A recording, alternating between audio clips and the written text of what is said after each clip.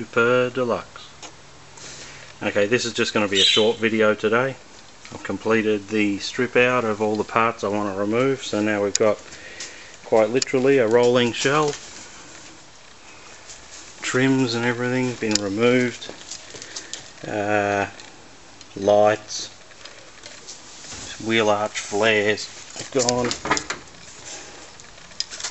Door trims been removed. There's the wheel arch trims there, so I can identify which side they go on. Interior.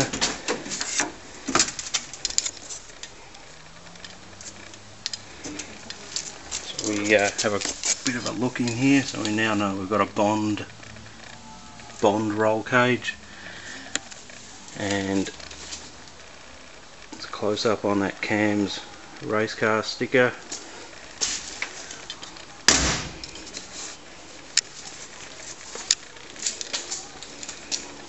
It's just dirt, it's not rust. Have a look at the front with the grill and everything removed. It's all a bit beaten out of shape due to its life as a racing car, but it's it'll do. Corner that needs the most work. The front stone tray has been modified with a something of a a um, lip spoiler on it. If anyone knows where I can get some of these Mazda Auto Club stickers from, please drop me a line. Uh, radiators out, brake master cylinders out, the covers from here are out. The covers I'll get them repainted in gloss black as they're supposed to be on this model car.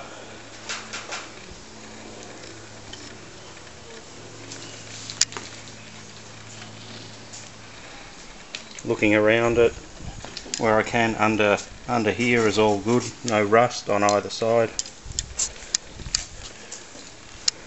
For such an old car, rust is not really much of a problem on this one, it turns out.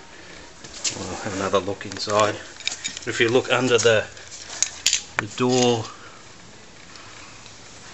I don't know I can't get my head down low enough to see but it all looks pretty good under there a little bit of surface rust coming through there bubble in the door underneath that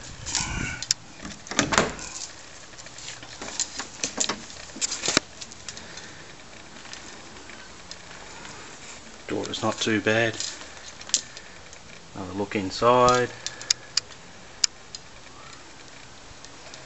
a bit of a, a dent I didn't see around there, but get that sorted out.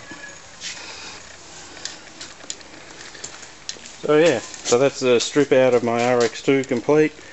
Um, someone will come by during the week with an engine hoist and pull that engine out, take away it and the gearbox ready for after this body's been painted. So yeah, that's part three of this series and thanks for watching.